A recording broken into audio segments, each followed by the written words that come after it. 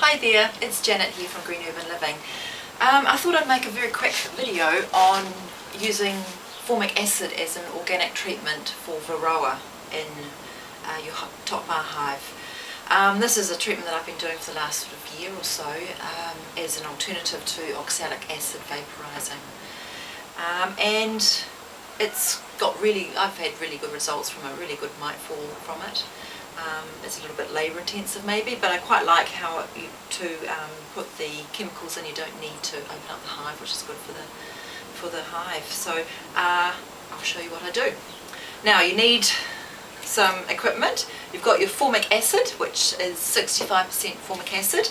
You need some acid-proof gloves, which are easy to find in uh, hardware shops. You need some eye protection, that's really important because the acid, you know, it is it is quite a nasty thing. You certainly don't want it sprayed on your hands or clothing, especially in your eyes. What I also always make sure I have is some water on hand. So if I did splash it onto my skin, I can quickly flush it away with some water. The other thing I use is some cooking spray and a piece of um, flute. This is just an old real estate sign that I cut up into strips. So first of all, what I do is I spray the core flute with my cooking oil. So that basically makes it into a very quick and easy, cheap sticky board. And then I've been using the um, sanitary napkins because I find that they're really cheap, obviously easy to find in the supermarket, and they hold a good 40 mils of the um, formic acid, which is what I use. And they come with a very handy adhesive strip. So just peel that off, stick that on your sticky board, like so.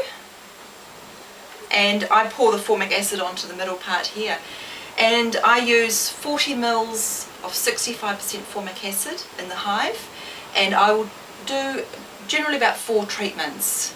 Um, so I'll treat um, come back in about three or four days time, check the mite fall and do another treatment. Um, and then if I still see mites falling, I'll do you know, another up to about four treatments. Um, and I'll either do that in early spring or in uh, my autumn treatments. So once I've got this all sorted, I put on my uh, gloves, acid-proof plastic gloves. When you're working outside, you don't need to, I, well, I don't use um, a, a, mask or anything with the vapours, um, as long as you've got, uh, it, you know, you're working outside with it, then the vapours don't sort of hit you as much as oxalic acid does. Um, pop on your eye protection, and then I just use this really handy little dual chamber bottle. It's got little uh, calibrations on the side here, so I can see when I get to 40 mils.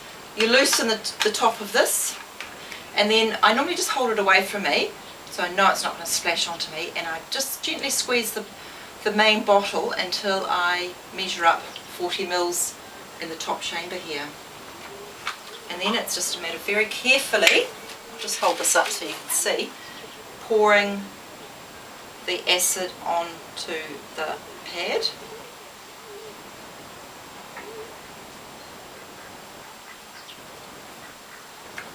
Like so. And then I just slip it into the bottom board. There, and you know, and then that is closed.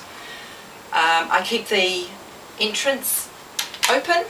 Um, if you're doing this in a Langstroth, obviously you don't want to have any entrance re reducers or anything like that.